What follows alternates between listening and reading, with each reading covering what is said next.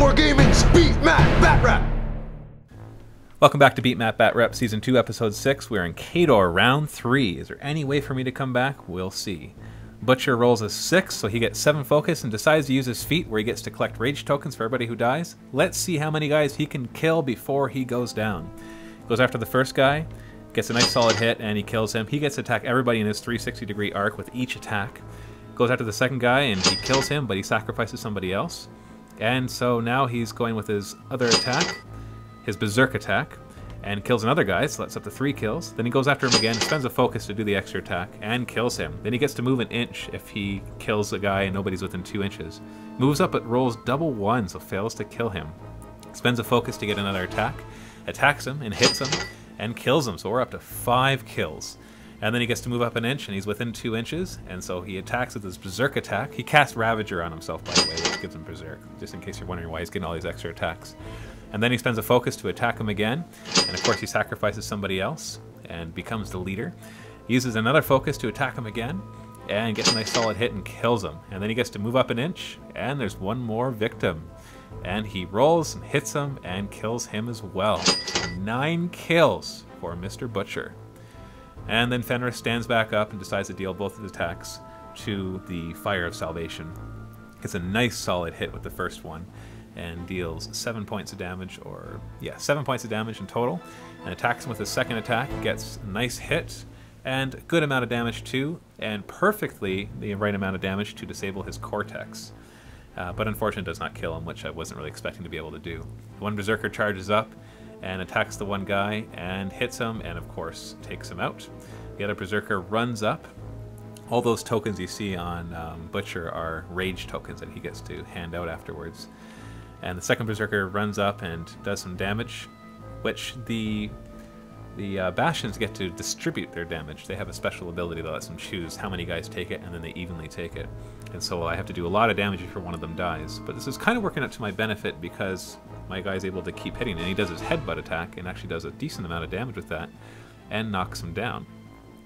So uh, the one Berserker was able to deal quite a bit of damage. And now that we're done all that, the Doom Reavers are going to run up, because with these Rage tokens, my guys actually get to do extra moves and extra attacks. And so that's what we're going to be doing. I go up and grab that objective.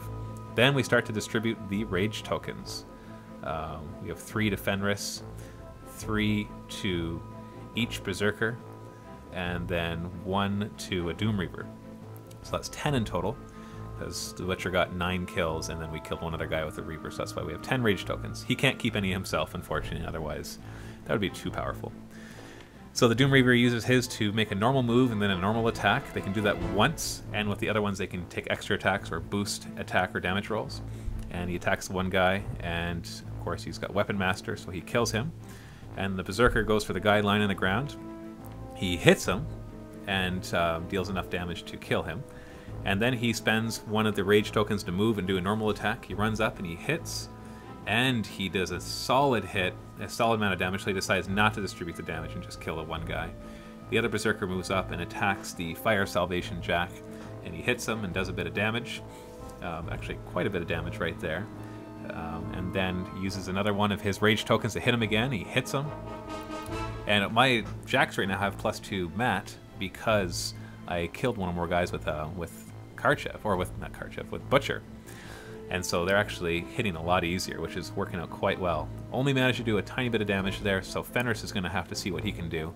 He gets a nice solid hit and a good amount of damage, and that brings him down to only three hit points remaining, so he uses another one of his rage tokens and he hits him again. Barely hits him, but a nice solid amount of damage and kills him. So he uses the last rage token to do a normal move. He doesn't get to do a normal attack because nobody's in range, but he grabs the objective.